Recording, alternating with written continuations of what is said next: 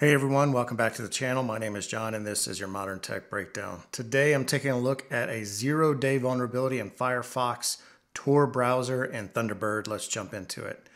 So here we have an article from Security Week outlining the critical vulnerability found in the Firefox browser.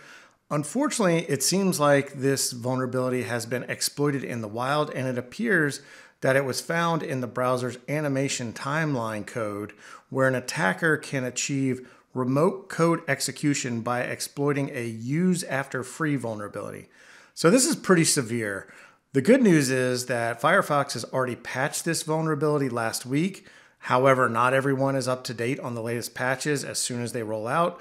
So if you or anyone in your organization is running Firefox, it's extremely important that they update to 13.0.2 or newer it's worth noting that Mozilla's Thunderbird email client is also affected by this vulnerability, so you'll want to update any of those installs to the latest version as well.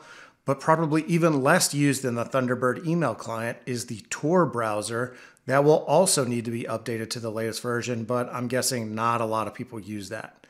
So, how bad is the vulnerability? Well, the article doesn't really get into the details. It seems like Mozilla is being tight lipped about it. But it seems pretty bad because it takes advantage of the animation timeline, and it would seem that simply loading a malicious link that uses those animation features would probably be enough for an attacker to achieve remote code execution, which is pretty much the means for an attacker to own your machine. So, yeah, pretty bad. So, get on updating your software.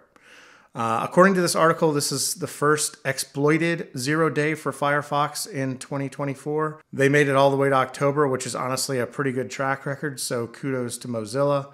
Uh, but as I said, this is a pretty severe vulnerability, so update your Firefox installs. With that, I'll leave it there. As always, thanks for watching. Please like, comment, subscribe, and I will catch you next time.